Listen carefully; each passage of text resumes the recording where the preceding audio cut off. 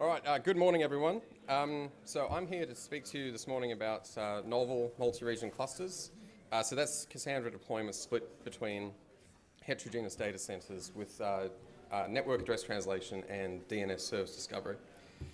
So my name's Adam Zegelin. I'm the co-founder and VP of engineering at Instaclustr. Uh, Instaclustr is a company that provides Cassandra as a service in the cloud.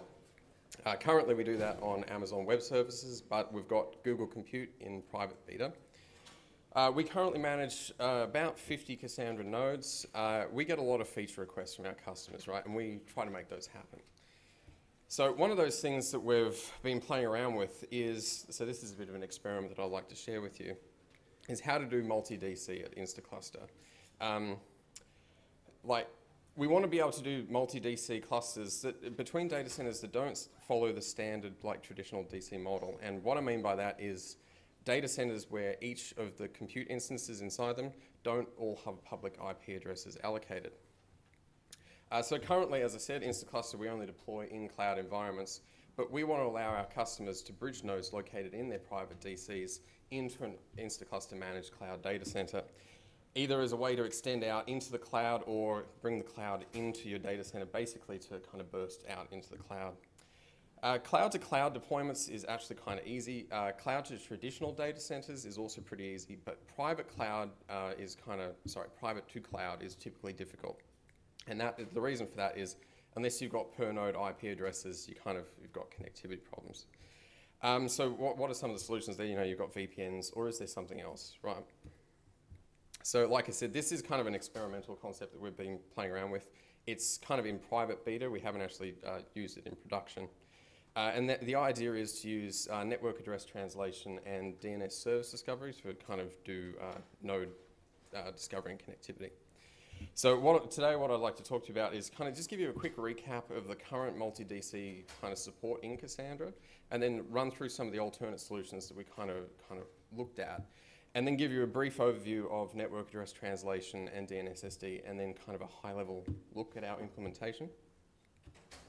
So let's kind of start with the basics, right? Just as a kind of quick recap. So what is a single node cluster? Well, this is what you get when you kind of do apt-get install Cassandra on a machine.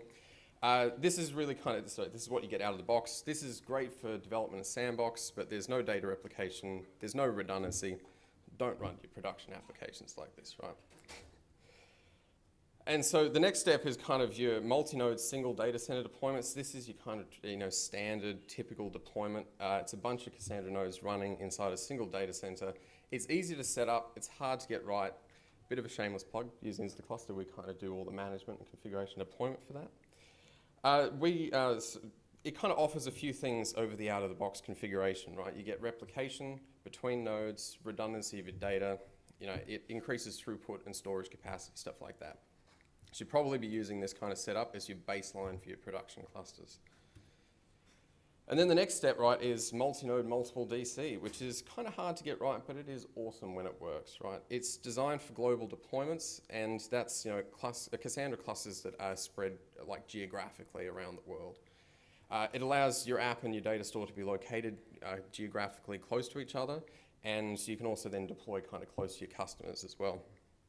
So this is actually supported out of the box in Cassandra, but it's only supported on data centers that have public IP addresses for every node in them. So how is Cassandra like data center aware, right? And that's, that's achieved by this component called snitch. So the snitch is how Cassandra understands data centers and racks. It knows which DC and rack a node is located in. And how is that done? So it's, it's either automatic, right? There's uh, an implementation um, called the EC2 multi-region snitch, uh, that thing basically uses Amazon's internal API metadata service to determine which rack and data center or region you're currently located in. The other way is to do manual configuration using something like the gossiping properties file snitch, uh, which loads those details such as the rack and the data center from a properties file configured on the thing. Um, other nodes find out this information via Cassandra's internal protocol called Gossip, and so that means that every node inside a cluster will eventually determine which data center and which rack a node is located in. And another advantage of every node knowing which data center rack a node is in means that nodes can determine proximity with other nodes. So that kind of gives you sort of an estimate of link, latency, right? Which means that nodes that are kind of close together will, will establish connections, and your application can establish connections to the nodes that are closest to it as well. Uh, one cool thing is that you can actually have multiple implementations of a snitch in a single cluster. So, you know, if, for example, you're doing a deployment between, say, Rackspace and Amazon Web Services, obviously the EC2 multi-region snitch won't work in Rackspace. So you can actually deploy the EC2 snitch in EC2 and then do a custom one in Rackspace if you want to. And so what is, it, what is a data center according to Cassandra, right? Um, a data center is basically a collection of racks. Data centers are complete replications of your data. And Cassandra understands that they might be geographically separate with high latency links, right? And so a good example of that is um, East Coast US to Sydney is approximately a 300 millisecond round trip time. You don't want your application kind of connecting to the nodes in the wrong continent, otherwise you're going to have serious problems. Um, and so, yeah, because Cassandra knows about that link, it will, will not establish, um, like, direct, sorry, it'll establish connections, but it will attempt to use the data closer, closer to your application. So uh, the next step is what is a rack, right? Um, a rack is a collection of individual Cassandra nodes, right? And Cassandra understands that rack might fail as a, as a single unit, right? And Cassandra will ensure, or attempt to ensure, sorry, that there's enough replications of your data inside a DC so that it can um, delegate over to a different node if a rack fails, right? And this is all modeled around the traditional data center deployment thing where you have, you know, racks and cages with um, like UPS devices and the whole thing might actually fail as, as a whole unit, right? So how does the traditional DC and rack model kind of map into the cloud, right? Um, on Amazon Web Services, it's actually, sorry, this is quite simple, right? On Amazon Web Services, a data center maps to a region, a rack maps to an availability zone.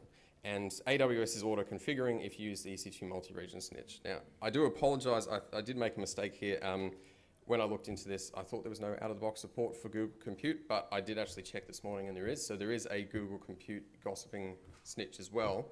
Um, and so that gives you out of the box support on Google Compute basically the same thing, like data centers map to uh, Google Compute regions and racks map to zones. But of course, sorry, if you're in a data center that doesn't kind of have an automatic configuring thing, you can hard code these values into the, into the properties file, for example, or write your own and commit it to the project. That'd be great. So this basically, all this means is that Cassandra is data center aware, right? And that makes remote data center more expensive and you can also then write your applications to be DC aware too, right? Um, this means that your application will only attempt to fetch data from the nodes that are closest to it. Like I said before, you know, otherwise you end up connecting across really expensive links and you've got serious latency problems. So how do you make your application DC aware? Well, it's quite simple. Um, as an example here, uh, you know, in, in the Java driver, you can actually specify a DC aware round robin policy with the name of the data center that your application is located in, and then the application will only attempt to connect to the nodes located in that DC. So, like I said before, Cassandra actually has out of the box multi DC support.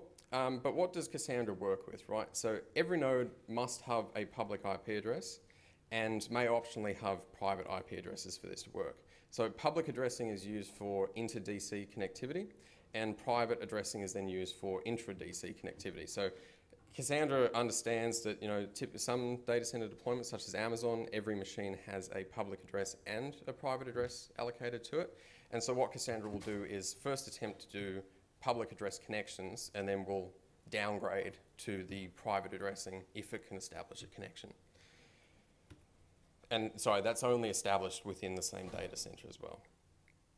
So this out-of-the-box support great, works great with cloud-to-cloud deployments, uh, traditional data centers to cloud deployments, and traditional to, to, traditional. And just to clarify, what I mean by traditional here is where every machine has a public IP address.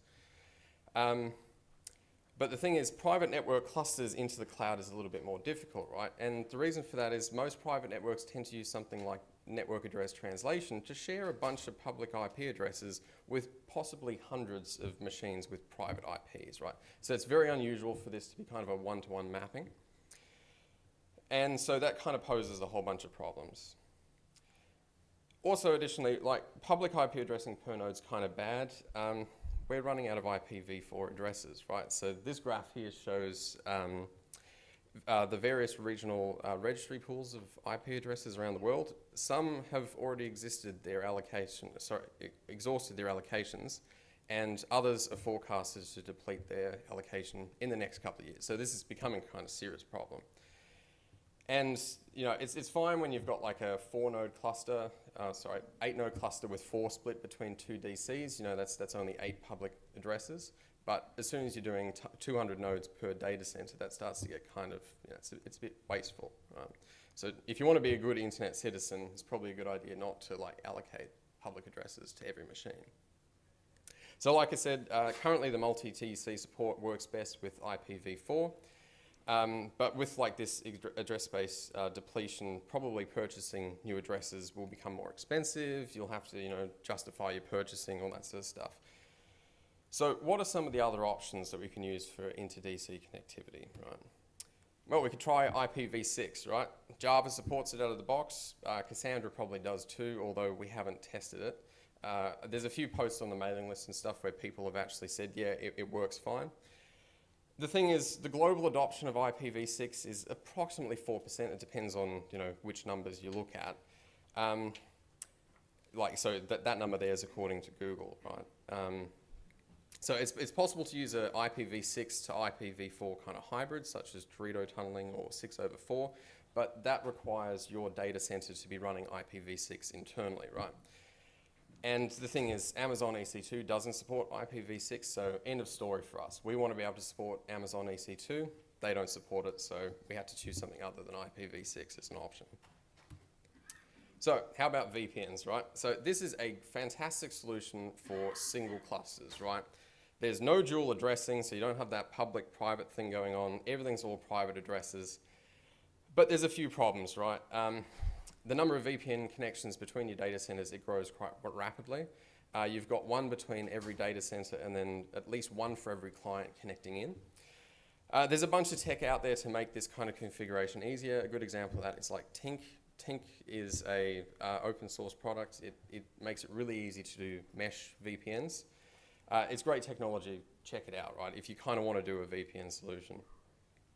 So some of the problems that we had at Instaclustr uh, with trying to deploy VPNs, though, is that VPNs are typically implemented at the IP level, right? They're completely transparent to applications. And that becomes a problem if your address spaces overlap. Um, you can't connect to more than one VPN at once, right? Which makes it very difficult from our kind of point, where we want to be able to connect to multiple clusters and do management, monitoring, uh, you know, and it, it's also a problem for multi-cluster applications. If your app needs to connect to two clusters over VPNs, you've got to make sure their private addresses uh, don't, also their address spaces don't conflict. Um, so we kind of had to find something additional, or uh, sorry, another alternative to VPNs. And just to give you an example of like how many VPN links are actually needed between data centers, with seven DCs you need 21 links like I said, technology like Tinc can actually assist with establishing those additional connections, but still, you know, that's a lot of connections. And if one of them goes down, you've got some problems. And then you also got to add client connectivity in on top of that. So one of the other solutions we came up against uh, was network address translation. This is also called IP masquerading or port address translation. They're all kind of the same tech. Like it, there's there's a few details there that you know, but I won't go into that today.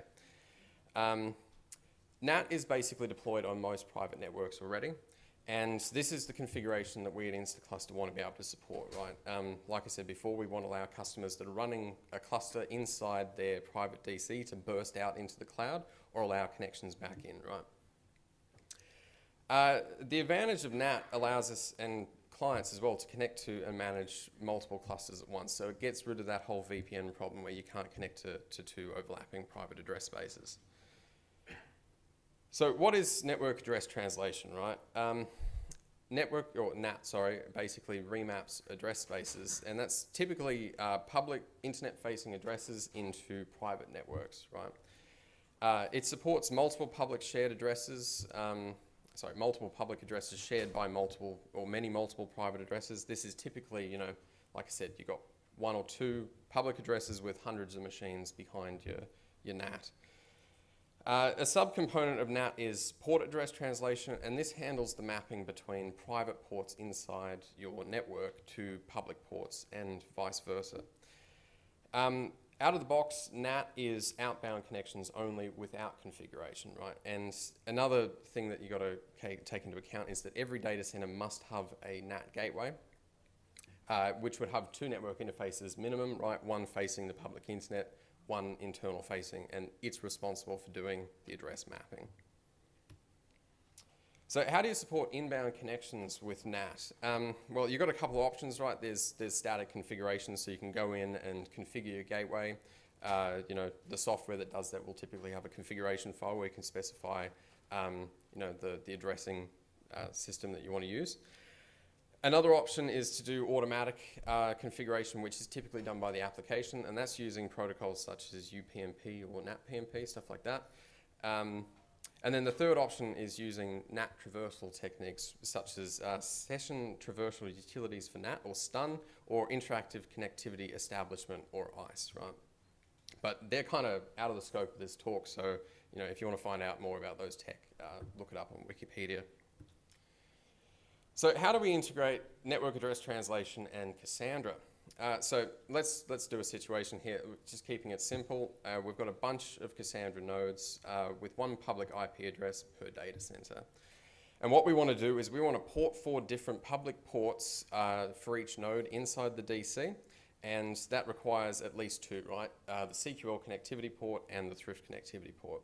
And then what we have to do is advertise these assigned ports to external third third parties or other data centers or clients, and then I'll make, modify them to actually use those ports and the gateway address.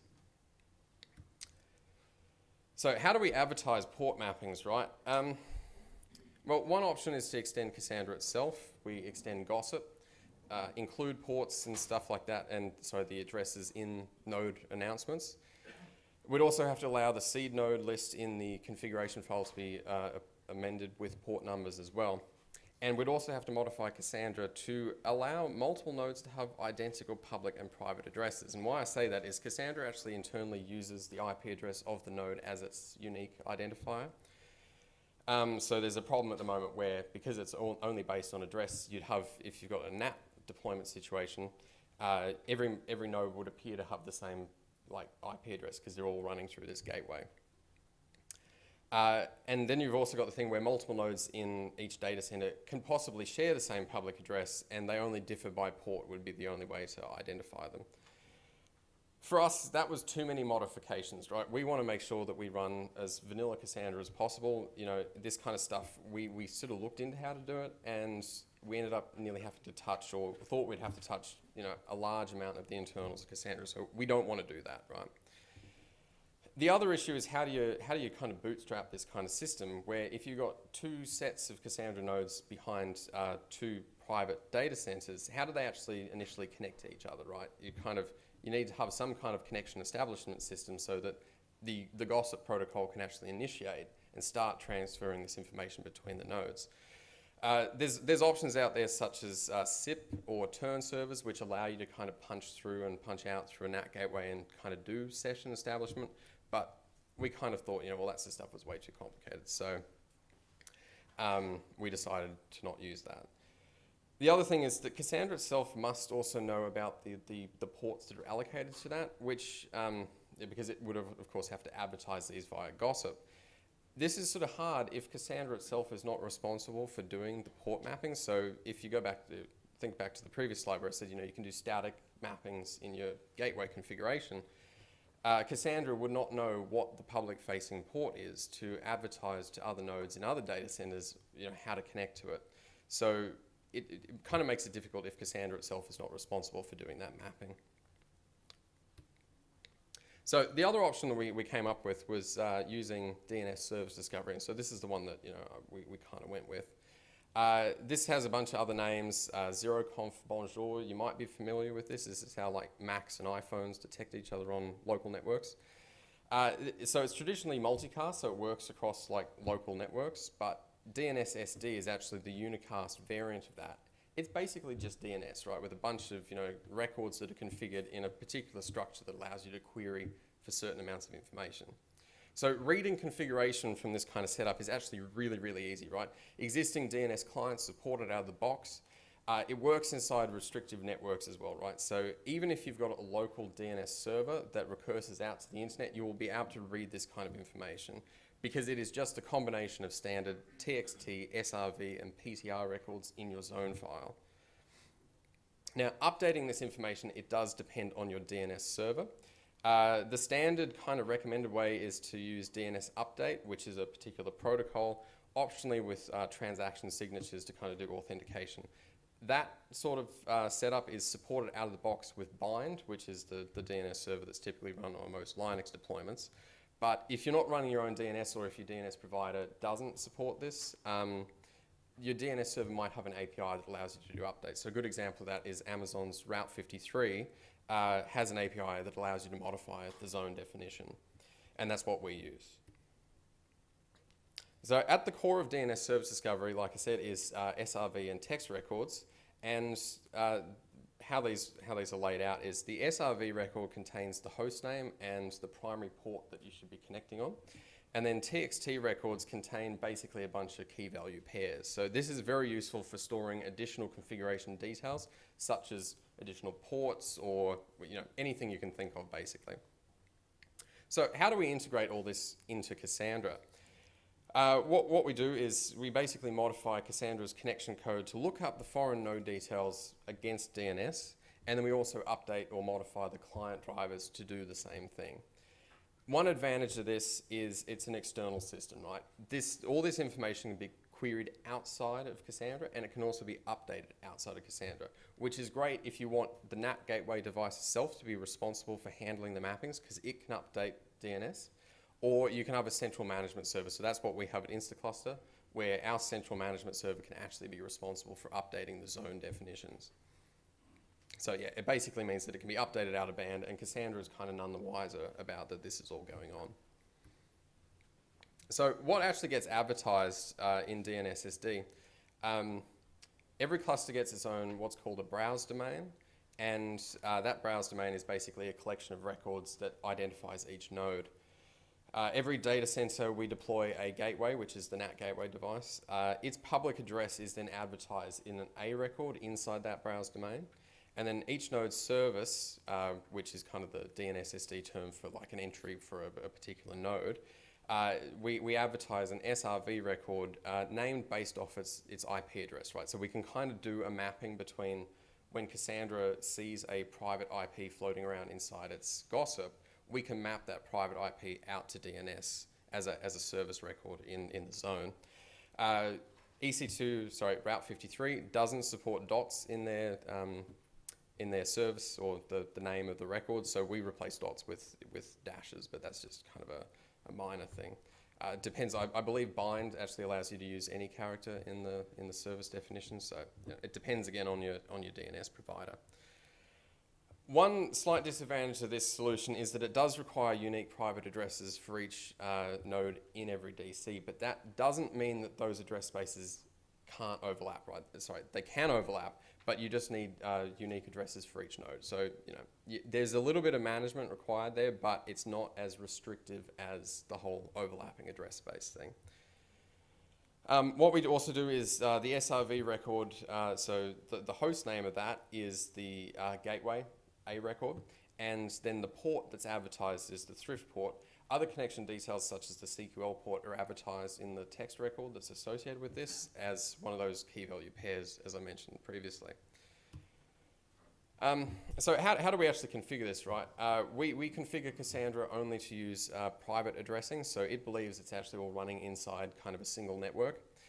Uh, when the cluster is created, we establish a new browse domain in DNS, and like I said, we create an A record for each NAT gateway inside that browse domain. The NAT gateway itself is responsible for updating DNS uh, SD, so it, modifies the zone records. And the way that that works is the, the gateway itself is notified when a new node starts up inside the data center. It configures all the port mapping as well, so it allocates random ports public facing and configures the forwarding rules to the, the standard Cassandra ports running on the private machines.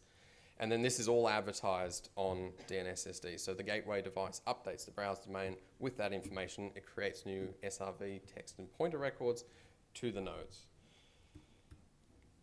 so to give you a kind of example of what this looks like when it's running, um, using, the uh, DNS SD command, which is uh, built into Mac OS 10, you can use uh, Avahi Browse on Linux if you want. Uh, you can also use Dig or any other DNS querying tool because like I said before, this is actually just DNS, right, under the hood. Uh, so what, what we do at the top there is we browse for Cassandra services on a domain. Um, as you see here, uh, so there's a unique domain for this cluster and that cluster has six nodes located in two data centers. And the way that we identify that is um, you'll notice that some of them have uh, a one in the addressing scheme and the others have got a two. So we've got two subnets there, right? Um, so yeah, you'll notice that the instance names are listed down the sides. Uh, and that's how we look up details like on a per node basis when Cassandra receives uh, the fact that there's a new node in Gossip. Um, it can then uh, look up the, the record in DNSSD against that instance name because it is just the IP address. Uh, then if we want to actually look up the details for the node, we can, we can specify that service entry as a, as a, as a query, and you'll see there that um, what gets returned is the gateway host hostname and the thrift port. So the hostname is the, the green text, and the thrift port is the, the blue identifier there. Uh, and then lastly, what we do is uh, we, we query the address of the gateway machine just as a standard uh, NS lookup, and you'll see there that it then returns, like that's our EC2 public facing address. So if you were to connect to, uh, what's the port there? 1236 on that public address, you would connect to the thrift port on the Cassandra machine inside the private network. So just a quick overview of how we kind of went about modifying the client drivers to kind of handle this kind of kind of system. Um, luckily, the DataStax drivers out of the box, they actually support this concept called address translators, which is pretty cool. Uh, what these do is they take an address and port combination and allow you to translate that combo into an alternative uh, address and port number. Uh, so what we do is we create our own uh, address translator class, which is then used um, when uh, the, the driver tries to establish a connection and uh, those connections are either the ones that are established to the contact points or the ones that to new nodes that are to discovered via gossip, right? Uh, our private translator, or sorry, our, our address translator, um, translates private internal addresses, which is what's advertised on gossip, to the public IP address and port combinations, and this is achieved by querying DNS as before, right? We attempt to find a service with a name matching the private IP, and that then resolves to the gateway IP address eventually and the, the port numbers that you need to connect to. How do we modify Cassandra as well? Because obviously if you've got multiple DC deployments, you want Cassandra nodes to be able to talk to each other. Uh, so what we do is we modify the outbound TCP connection pool class, and that class is actually responsible for establishing socket connections between uh, Cassandra instances. Uh, there's a function in there called new socket, and we modify that basically in the same way as the as the driver. Uh, we it, it kind of gets a um, an endpoint parameter, which is the private IP address of the node. We look up that private IP address in DNS and uh, then receive the gateway IP and public port, and then create a new socket on that address combination rather than the internal private address that it was originally going to connect to. So just to give you a kind of, you know, here's a diagram that hopefully explains how some of this works.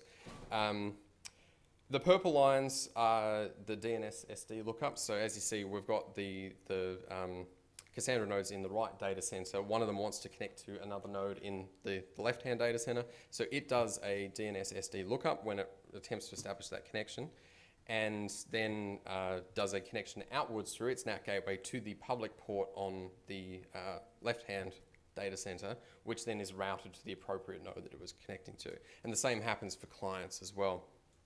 The client application will attempt, it will do a DNS lookup first and then establish the connection to the NAT gateway of the data center uh, where the node is located. And that about wraps it up. So.